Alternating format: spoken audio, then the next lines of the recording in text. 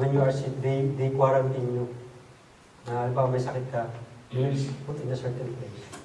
If, if you read that in the Old Testament, you will see that quarantine actually started in the Bible nung time ng mga Israelites.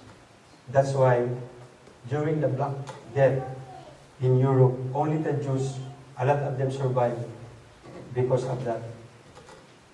So brothers and sisters, what, what I was showing here, brothers and sisters, is that what God has given us actually benefit those people. It is just it is not just a, a religious ritual, but it actually helps people. God has a purpose for it.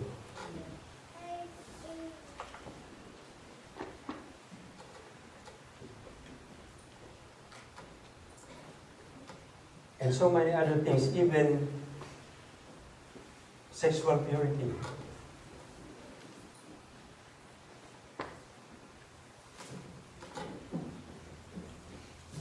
If this were followed, a lot of people would have saved their, themselves from, from so many sickness. If this were followed.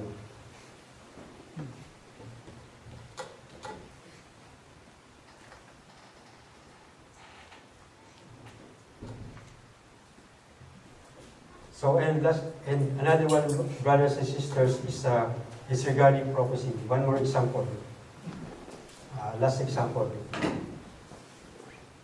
You know that the Bible is the only book that can tell what's going to happen in the future.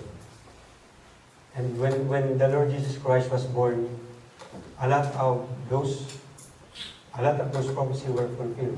A lot, most of them were already fulfilled. And I'll just give you one example, brothers and sisters. One, this one, one example is a very phenomenal prophecy. Example na to. There's, there's so many prophecy in the Bible, but this one is one example. In the book of Daniel, in chapter 9, verse 24, 27, you will see here the prediction of the year that the Christ appearance in the beginning of his ministry. In the book of Daniel. So this book was written so many hundred years bago pa ipanganak Jesus. But this prophecy was fulfilled. Another remarkable prophecy, brothers and sisters, is in the time of Daniel when he was under King Nebuchadnezzar. So in, in this prophecy, the, the king had a dream. And now, nobody can interpret the dream. Walang maka, walang maka, ano, walang makasagot. So, tinawag nila lahat ng mga magician to, interpret. But nobody can can answer. And so they called, they called Daniel. They called Dan- Daniel.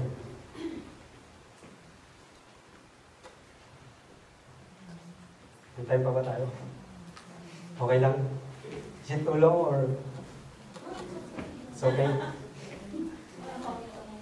So, this one, last uh, pro- prophecy. Now, Daniel is a man of God. He's the only person who answered the king. He did not know the he did not the the king did not tell him the the dream. Sabi ng king sa kanya, You tell me what my dream is what it means. So sabi niya, King, I saw you that there's a big statue and the head was made of gold and the chest were made of silver. The chest is made, made, made of silver. It was, it was an awesome image. His belly and thighs are made of bronze, and his legs of iron, and his feet were partly iron and partly clay.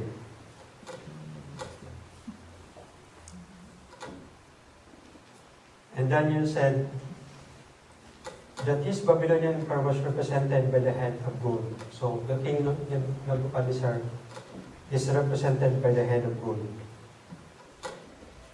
If you read history books, brothers and sisters, you will see how this prophecy actually happened na nangyari.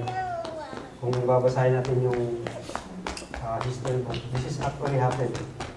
So what happened is, it Daniel, this interpretation provided an astounding preview of history.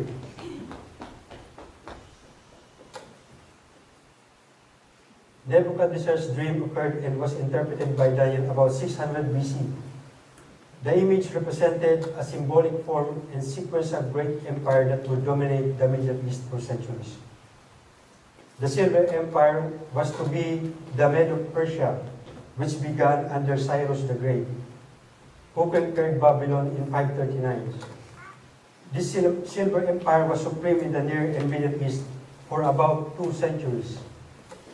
The Bronze Empire was the Greco-Macedonian Empire established by Alexander the Great. The Bronze Kingdom lasted for about 200 or 300 years before it was supplanted by the Fourth Kingdom. The iron connotes toughness and ruthlessness and describes the Roman Empire that reached its widest extent under the reign of Trajan. And the Roman Empire ruled for centuries. So, yung prophecy na yun, you read history book, it happened. So, these brothers and sisters only confirms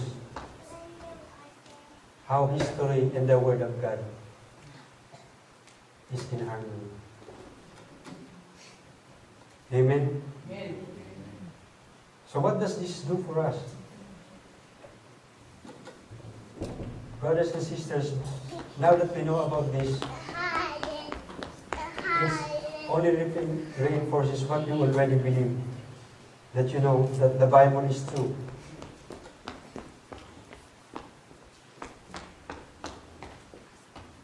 Amen? And now to us, we have, uh, we made a choice. We, we choose to believe.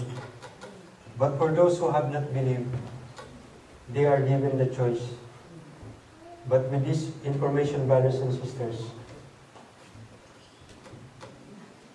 if, if they choose to believe, they are in the right path because as we, as we already, as we have learned from this short message, brothers and sisters, that what happened in the past and what has been discovered does not contradict what the Bible had already said. Amen? So that's good news for us, brothers and sisters.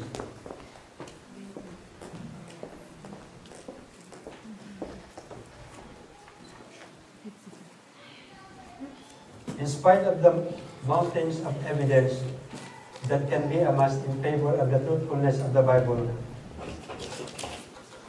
having believing faith comes through developing a personal relationship with God. Amen? Kahit na alam, malaman mo itong mga bagay na ito, the most important thing is to have a personal relationship with God. People can doubt and disbelieve. And even in the time of Jesus, there are a lot of people who encountered, who encountered disbelief. And they stumble at times. That's why in Mark 9.24, one man said, Lord, I believe, help my unbelief. Needed a man who struggled with his faith.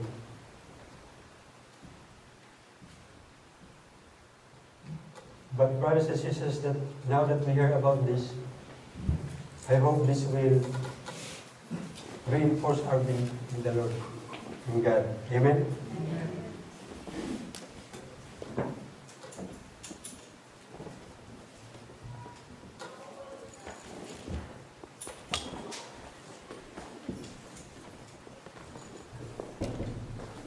One way of seeking God is through careful study of the Bible. It is no accident that the Bible came down to us so many centuries with such accuracy and power. God intended us to live our lives with this book. And many people have dedicated them- themselves to the preservation of this, of this book. We are so blessed because today, brothers and sisters, we can have the Bible anywhere we want. We can have the hard copy, we can have the apps, we can search the internet and we can find the Bible.